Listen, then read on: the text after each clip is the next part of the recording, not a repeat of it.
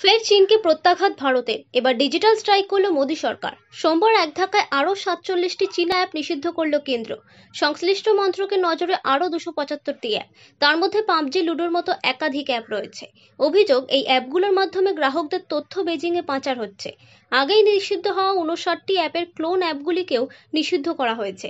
যদিও নিষিদ্ধ অ্যাপের তালিকা এখনও প্রকাশ করেনি কেন্দ্রীয় মন্ত্রক।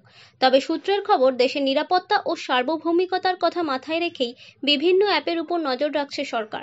বিপদ বুঝলে সেগুলি নিষিদ্ধ করা হচ্ছে। তার মধ্যেই মোবাইল গেম পাবজিও রয়েছে।